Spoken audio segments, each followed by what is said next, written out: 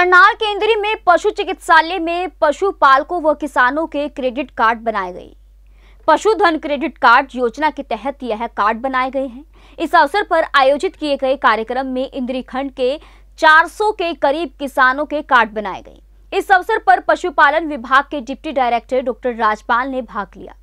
इस बारे में जानकारी देते हुए डॉक्टर राजपाल ने बताया कि हरियाणा सरकार की यह एक बढ़िया स्कीम है। जिसके तहत किसानों व पशुपालकों के क्रेडिट कार्ड बनाए जा रहे हैं। इन क्रेडिट कार्ड की लिमिट एक लाख साठ हज़ार से तीन लाख रुपयों तक की है। उन्होंने कहा कि करनाल जिला में चालीस हज़ार कार्ड बनाने का लक्ष्य रखा गया है। इंद्री खंड के किसानों व पशुपालकों के क्रेडिट कार्ड बनाए जा रहे हैं। इनकी विशेष बात यह है कि इनमें कोई गारंटी देने की ज़रूरत नहीं है। इस राशि पर केवल चार प्रतिशत ब्याज लगेगा, लेकिन एक शर्त है। कि किसान को यह राशि एक साल में ही वापस करनी होगी, अन्यथा ब्याज की राशि बढ़ जाएगी।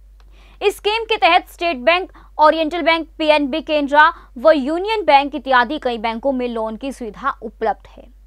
डॉक्टर राजपाल ने बताया कि समय समय पर पशु चिकित्सालयों में पशुपालकों के लिए जागरूकता अभियान चलाकर उनको पशुपालन के लिए प्रोत्साहित किया जाता है। मौजूदा समय में किसान अच्छी नस्ल के पशु रख रहे हैं, जिनकी दूध की मात्रा काफ़ी ज़्यादा है। आजकल साहिवाल, मुर्रा व हरियाणा नस्ल की देसी गायों की काफ़ी डिमांड है। इन नस्लों को, किसानों को अच्छे रेट में मिल रही हैं। मुर्रा नस्ल की भैंसों व कटड़ों की कीमत तो लाखों रुपए में पहुँच रही है। उन्होंने बताया कि आजकल किसानों में पशु पालने में रुचि बढ़ रही है। सरकार भी किसानों को पशु पालने के लिए प्रोत्साहित कर रहे हैं और इसके विस्तार के लिए कई कल्याणकारी योजनाएँ बनाई गई है। सर, ये हरियाणा सरकार द्वारा किसानों और पशुपालकों के हित में एक योजना चलाई गई है, जिसका नाम है पशु किसान क्रेडिट कार्ड। पहले जो जिनके पास गाँव में किसानों के पास भूमि होती थी, उनके लिए किसान क्रेडिट कार्ड की योजना पहले से ही उपलब्ध है, और बहुत भारी मात्रा में ऐसे भी लोग हैं गाँव में जिनके पास ज़मीन नहीं उपलब्ध है। तो ज़मीन के ऊपर के किसान क्रेडिट कार्ड बनता था जिनके पास ज़मीन नहीं है और पशु हैं, उन लोगों को फ़ायदा पहुँचाने के लिए सरकार ने एक बहुत लाभकारी योजना चलाई है, जिसका नाम पशु किसान क्रेडिट कार्ड है। जिसके अंतर्गत एक लाख साठ हज़ार रुपये से लेकर तीन लाख रुपए तक का लोन पशुपालक को बैंक के माध्यम से दिलाया जाएगा। चार परसेंट उसके ऊपर ब्याज लगेगा।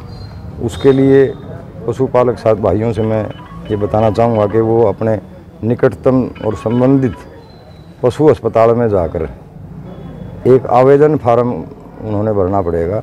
उसके लिए अपना एक वो वोटर आईडी, ना, sorry, Aadhaar card, PAN card और बैंक की पासबुक और पासपोर्ट साइज़ फ़ोटो लेकर अपने संबंधित पशु चिकित्सालय हमारी वो जो गवर्नमेंट वेटनरी डिस्पेंसरी किसी गाँव में है तो उसमें जाके हमारे संबंधित कर्मचारी से मिलकर अपना फार्म भरवा लें। उसके बाद जो उनके पास पशु हैं पशु का हेल्थ सर्टिफिकेट जो होता है, वो डॉक्टर वेटनरी सर्जन इशू करेगा और सारे दस्तावेज़ फिर बैंक में जमा करवा देंगे। बैंक फिर उनको एक लाख साठ हज़ार रुपये बगैर किसी सिक्योरिटी के चार परसेंट ब्याज पर उपलब्ध करवाएगा और साथ में एटीएम कार्ड भी उनको देंगे, जिसके माध्यम से वो अपना रोज़ की मर्रा की ज़रूरत के हिसाब से पैसे भी निकलवा सकते हैं। पर इसके लिए ज़रूरी है कि वो जितना पैसा उसने निकलवाया, वो एक साल में जमा करवा दे, पूरा एक साल की अवधि पूरी होने तक। जो आज पैसा निकलवाया है, उससे गिनती शुरू कर दो, एक साल कब होगा। उसके, ख़त्म होने से पहले जितने पैसे निकलवाए, एक लाख साठ हज़ार के, वो आप जमा करा दो तो आपका ब्याज रहेगा चार परसेंट।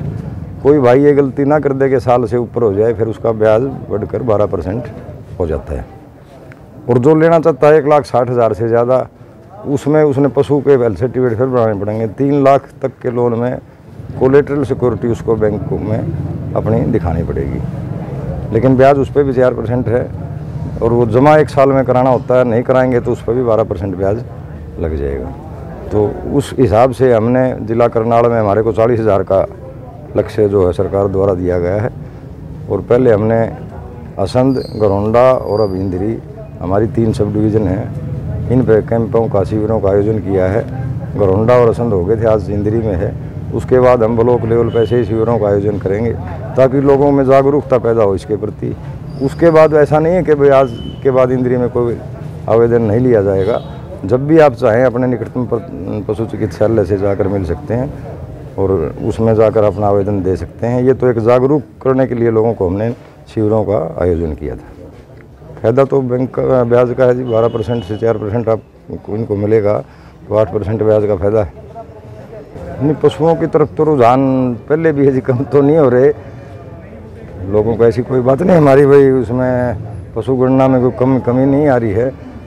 पशु की क्वालिटी बल्कि बहुत ज़्यादा बढ़िया आ रही है। पहले से बहुत बेहतर आप भी देख रहे हैं कि, कि पशु की आपने देखा झोटों की कीमत कई कई लाख और करोड़ों में जाके पहुँच गई।